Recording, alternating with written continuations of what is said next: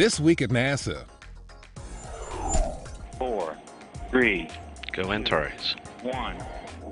Ignition. Engine start. Liftoff of the Antares A1 test mission from the Mars Pad 0A at the Wallops Flight Facility. Now that the Antares rocket and its simulated Cygnus spacecraft have successfully test launched from the Mid Atlantic Regional Spaceport at Wallops Flight Facility, program managers at NASA and Orbital Sciences Corporation are looking ahead to the cargo delivery system's next milestone. This is what we've said we wanted. You know, we wanted to have um, what we consider to be a viable commercial option to get cargo to the International Space Station. The Cygnus spacecraft that will fly to the space station has actually been fueled. It's ready to be transferred into the horizontal integration facility. And as soon as that rocket is ready to receive it, we'll integrate the two together and it'll be ready to roll out to the pad sometime this summer. Cygnus is designed to deliver supplies and science experiments to the International Space Station under NASA's Commercial Orbital Transportation Services, or COTS program. On this test flight, Antares also delivered to orbit a trio of PhoneSat nanosatellites designed and built at Ames Research Center to showcase the ability to launch and deliver to space low-cost, easy-to-build satellites. Progress on final assembly and integration of the Orion spacecraft was showcased for news media at the Kennedy Space Center's Operations and Checkout Building. KSC Director Bob Cabana and others detailed the status of NASA's next space capsule and its uncrewed Exploration Flight Test 1, scheduled for next year.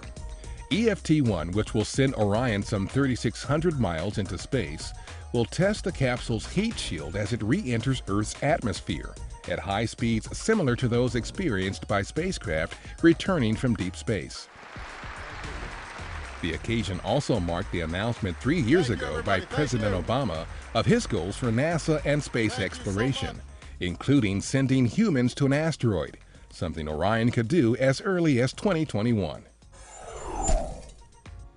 Deputy Administrator Lori Garver addressed attendees of Gathering for Impact, the third International Academy of Astronautics Planetary Defense Conference in Flagstaff, Arizona. The five day event addressed strategies for deflecting an asteroid and civil defense response should impact threaten.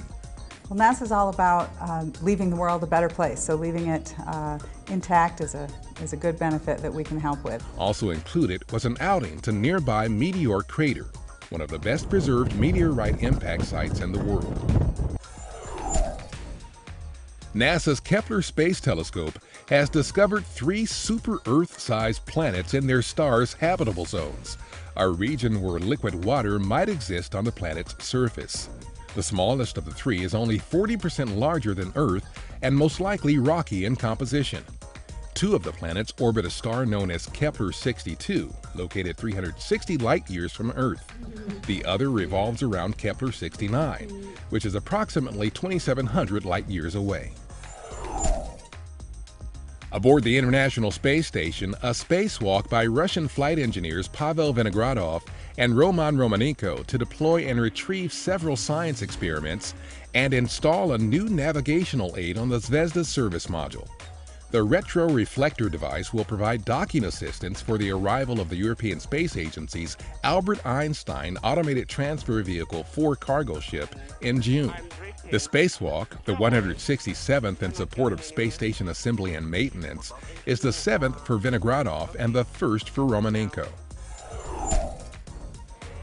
Teams of high school and college students are geared up for the 20th annual Great Moon Buggy Race April 25th through 27th at the U.S. Space and Rocket Center in Huntsville. Hosted by the Marshall Space Flight Center, the event encourages young people to develop and use skills in science, technology, engineering, and math to build and race lightweight human powered buggies. NASA hopes these students will pursue careers in STEM fields to benefit the agency, the nation, and humankind.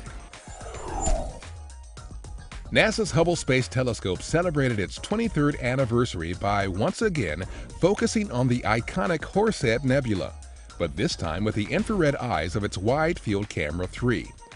Imaging the nebula in infrared revealed features previously hidden by gas and dust. About 1,500 light years away, the Horsehead lies in one of the closest and most commonly photographed regions of space, where stars are actively forming.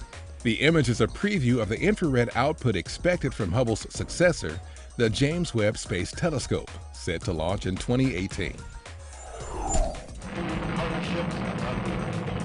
12 years ago, on April 19, 2001, Space Shuttle Endeavour launched from Kennedy Space Center on STS-100 to deliver Canadarm2 to the International Space Station.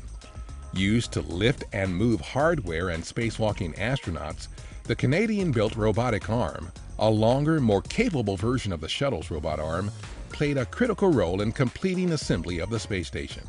The mission also delivered supplies to the station with the Italian-built Raffaello multi-purpose logistics module.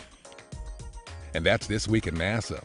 For more on these and other stories or to follow us on Flickr, Ustream, and other social media, log on to www.nasa.gov.